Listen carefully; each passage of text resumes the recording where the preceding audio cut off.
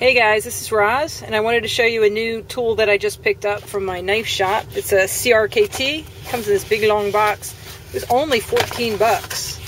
Uh, check it out. This is what it is.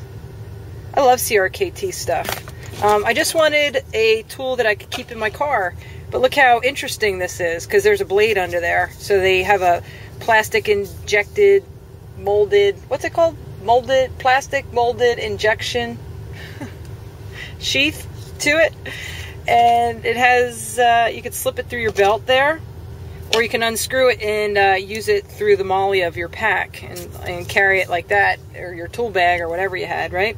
So what it has is a pry bar on the end, and the guy that owns the shop told me that he actually wrote to CRKT and told them to sharpen this um, in the middle here, and it and they did. Um, they revised it from the prior version of this spare tool to sharpen now, so you can use it as a seatbelt cutter if you need to.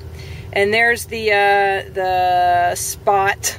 No vocabulary, guys. There's the spot that the drill the drill that the um, Phillips head and flathead bit will go into, and there's a bottle opener there, and is it on this side? There's a, a ruler, three inch ruler.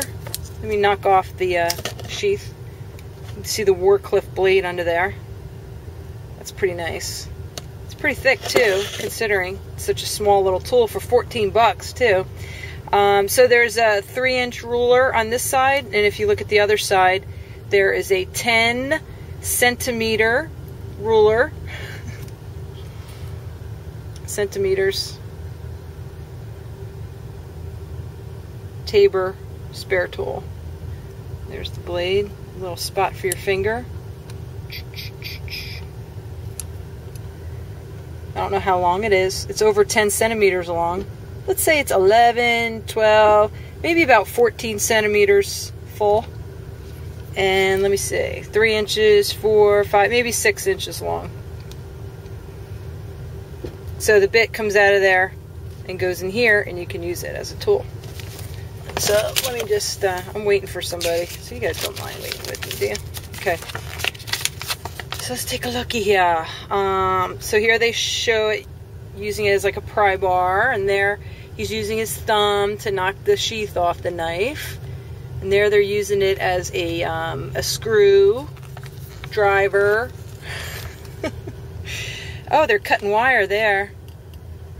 Cut wire or you cut a seatbelt too. What's he doing there? Pry bar can be used alone to start nail or staple removal. Use a screwdriver bit as shown for more leverage.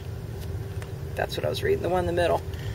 And what's this here? The top of the spare tool spine has a diamond pattern section which works nicely as a metal file or wood rasp.